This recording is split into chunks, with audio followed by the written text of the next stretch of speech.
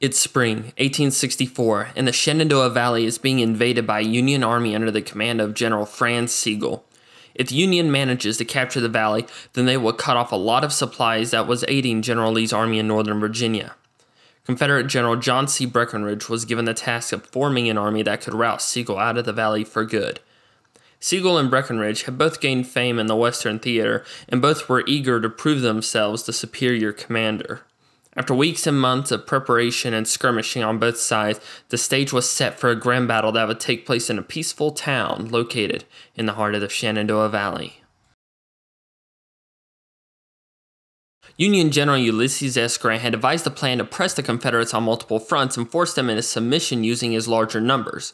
He tasked Franz Sigel with a force of 10,000 men to take the valley, link up with another Union force tearing through West Virginia, and then take his combined force to attack Confederate General Robert E. Lee's left flank.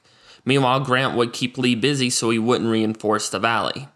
General John C. Breckinridge was not in a very good position. He only had a small force at his command, one that couldn't stop Sigel's advance, of course. He put out a call to all Confederate forces and sympathizers in the area to join his army.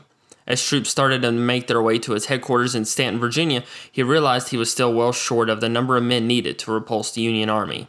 In a desperate move, he did the last thing he wanted to do. He sent an order to the Virginia Military Institute calling for the Corps of Cadets, some as young as 15 years old, to join his army in an attempt to save the valley from the invaders. The cadets, under the command of Lieutenant Colonel Scott Shipp, marched to Staunton as soon as they could organize. Confederate cavalry under the command of John Imboden slowed Sigel's advance, but it became apparent that Breckinridge that a battle was coming soon. On the morning of May 13th, Breckinridge decided to move north to attack Sigel instead of waiting for Sigel to reach Staunton. By the evening of May 14th, Sigel's advance forces had reached a position north of the village of New Market, while Breckinridge was still at Lacey Springs, eight miles south of New Market. At around 1 a.m. on the 15th, the Confederates moved toward the Union Army and prepared for battle the next morning. The 15th started with an artillery duel between the two forces with few casualties. Both sides drew their battle lines, and Sigel outnumbered Breckinridge by about 2,000 men and had the better position with a slight ridge on his right flank that helped his artillery and infantry pour accurate fire into the Confederate army. Breckinridge tried to lure the Union forces into an attack, but the Union commanders wouldn't fall for this trap. Breckinridge launched his infantry attack near noon, slowly pushing Moore's infantry brigade off Manor's Hill and northward toward the rest of Sigel's army, which was deploying on a hill north of Jacob Bushong's farm, known as Bushong's Hill. Once past the town of New Market, the Confederates halted to dress ranks, shift units along the line, and reposition their artillery units. As Confederates formed their lines, massive Union artillery and rifle fire created gaps in the Confederate center. Running low on reserves, Breckinridge had no choice but to order the VMI cadets into battle. The battalion of cadets was ordered to go through the orchard by the farm and join the other Confederate regiments on the front line. While the battalion was moving forward to the Bushong Orchard, Shipp was wounded and was replaced by Captain Henry Wise. At this time, Sigel launched two counterattacks of his own. On Union left, Stahel launched a mounted charge with the cavalry, but was routed by heavy fire from Confederate artillery, while three infantry regiments attacked on the Union right and were repulsed as well. There was a lot of confusion in the Union ranks, and it's even said that Sigel was shouting orders in his native language of German. Breckinridge started his advance again shortly after 3 p.m. with his infantry force.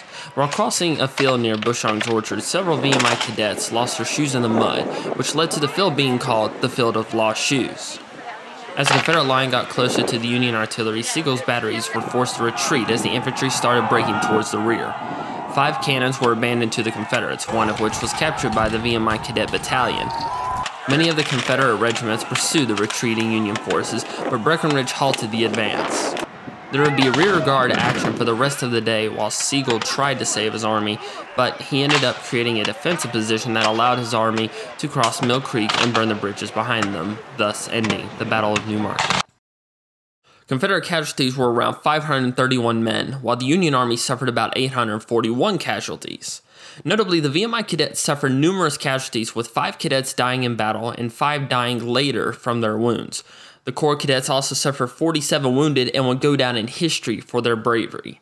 And it's the only time a Corps of cadets has been called from their classrooms into a pitched battle. Sigel then took his men out of the Shenandoah Valley, and Breckinridge enjoyed his brief success the Shenandoah Valley was safe for the time being. but not for long.